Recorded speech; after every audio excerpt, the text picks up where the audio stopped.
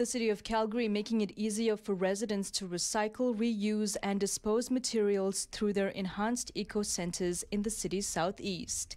These self sorting areas providing convenience with a year round drop off location for a variety of materials that don't always fit or belong in regular bins. So, the biggest enhancements we've made is actually a redesign of the layout of the eco centers that make them more user friendly and easier so you don't have to visit multiple locations.